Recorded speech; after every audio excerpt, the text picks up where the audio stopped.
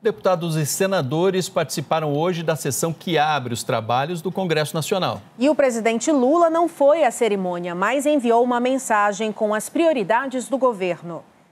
Foi o ministro da Casa Civil, Rui Costa, quem representou o presidente Lula na sessão solene no plenário do Senado. A união e reconstrução significa unir e reconstruir as relações com o Congresso Nacional, com a Câmara e com os deputados reconstruir o Pacto Federativo, um diálogo intenso com governadores e prefeitos. É uma cerimônia simbólica, mas que representa um primeiro passo para a garantia de uma palavra muito citada ultimamente, a chamada governabilidade. O executivo precisa da colaboração do Congresso para colocar em prática propostas e políticas públicas, e a mensagem de Lula traz algumas das prioridades do governo federal.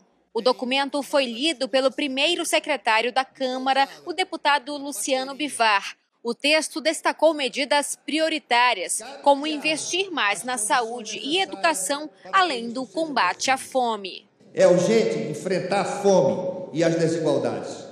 Mais do que governar, é preciso cuidar de todos e de todas, mas olhando com atenção especial para as populações mais fragilizadas. Mais cedo, o Senado concluiu as eleições para o comando da Casa pelos próximos dois anos. Depois da eleição do presidente Rodrigo Pacheco, o cargo de primeiro vice-presidente será ocupado por veneziano Vital do Rego, do MDB.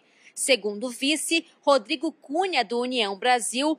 Primeiro secretário, Rogério Carvalho, do PT Segundo secretário, o Everton, do PDT.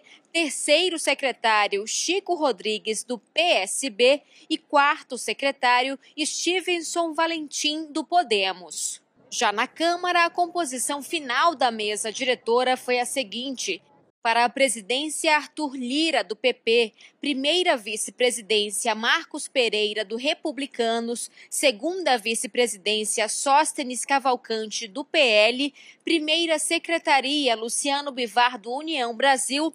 Na segunda, Maria do Rosário, do PT. Na terceira, Júlio César, do PSD. E na quarta secretaria, Lúcio Moschini, do MDB.